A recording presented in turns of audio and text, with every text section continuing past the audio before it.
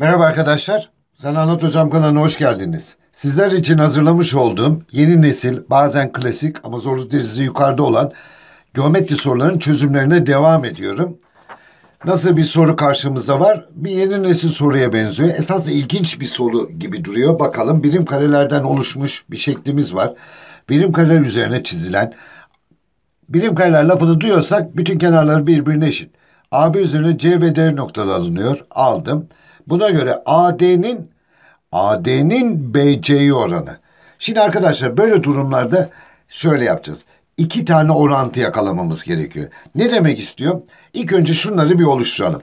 Yani buradan yukarıdan aşağı bir dik indirdiğimizi düşünelim. Şuraya E diyelim. Ondan sonra şuraya F diyelim.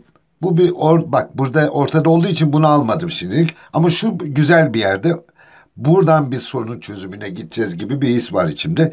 Sonra şimdi bakıyorum şimdi. Burası kaç? Bir tak iki birim. Tamam.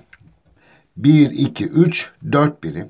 Yani altı birim varken burada kaç birim var? Bir, iki, üç, dört, beş birim var. Şuraya da beş birim diye yazayım unutmadan. Sonra başlıyorum bakın şimdi. AC'nin, nereden buradan başlayayım? AC'nin BC'yi oranı, bak AC'nin BC'yi oranı 2'nin 4 oranına eşittir. AC'nin BC oranı 2'nin 4 oranına eşit. Yani 1 bölü 2'dir. Veyahut da öyle diyelim. Yani ne oluyor o zaman? 2 tane AC, 2 tane AC BC'ye eşit oluyor. Temel orantından bulduk. Ne diyeceğim ben buraya? AC ne olsun M olursa BC'miz ne olacak? 2M olacak.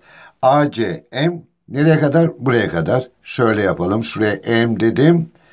BC'miz de yani bunun tamamı da biraz önce söylemek istediğim buydu işte 2M olacak. Şimdi buradan baktım. 3M olarak buldum buranın uzunluğu. Şimdi B'den bir bakalım. Bu sefer onu alalım yeşil kalemle yapalım. Bu sefer burayı oluşturalım. Bakın burasını oluşturuyorum. Dikkat edin. Şurada ne var? Şurası 2 birim. Burada ne var? 3 birim var. Şimdi B'den bakıyorum. B'den bakıyorum. BG yazdım. 3 birimi yazdım. BD'nin bakın BD'nin DA'yı oranı BD'nin BD'nin DA'yı oranı gören ne? 2. 2B'nin ne kadar görüyor? 3B görüyor. Yani 2 bölü 3. O zaman 3 tane BD eşittir 2DA. Dedim ya güzel bir, hoş bir soru. Temel orantı sorusu. Basit gibi duruyor ama bizi baya böyle sıkıştırıyor yani. Şuraya da ne diyelim? B'de 2 kat. Orantısız geometri olmaz arkadaşlar. Orantı kısmını mutlaka öyle oturması gerekiyor.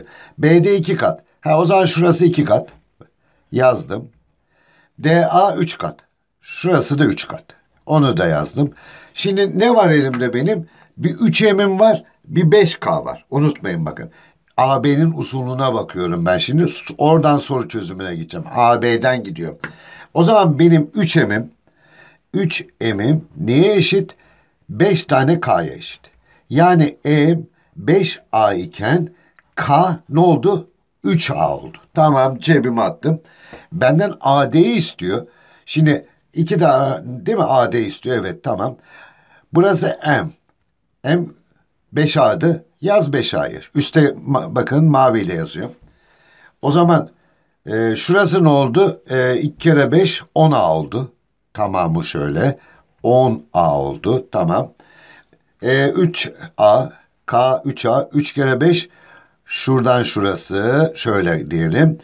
15A buradan burası ne oldu? Bir yerde tam yaptım. K yani 3A olacak. K 3A burası pardon özür dilerim. 9A tamam.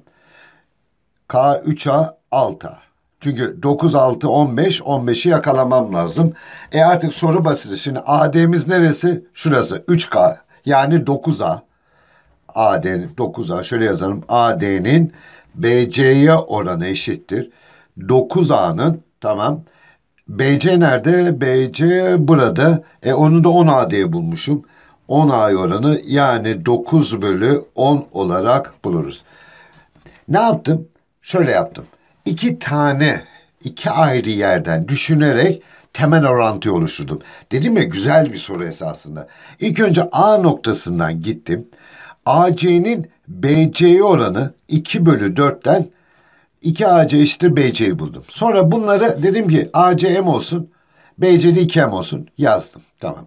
Sonra yeşil kalemimi aldım elime. Bu sefer B'den baktım olaya. B'den baktığımda da neyi buldum? BD'ye 2K, bakın 2K, buraya da 3K buldum. O zaman dedim ki 3M 5K'ya eşitse M 5A'dır yazdım. 2 ile tabii hani 2 ile çarptım 10A buldum. Yani bunun tamamı 15A oldu. Aynı mantıkla K 3A ise burasını 9A buldum buraya 6A buldum. E AD'nin BC oranını istiyor. Ondan sonra götürdüm yerine koydum. Bu sorunun çözümünü bu şekilde yaptım. Sanırım faydalı olmuştur. E, güzel bir tablo, pano sorusu arkadaşlar. Duvarda asılı yeni nesil sorulardan birisi.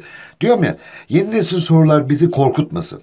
Bilginiz varsa, yani bilgi notlarınız varsa, özellikleri biliyorsak, yeni nesil soruları genelde kaçırmazsınız arkadaşlar. Çok özel sorular belki kaçacak. Çok özel sorular.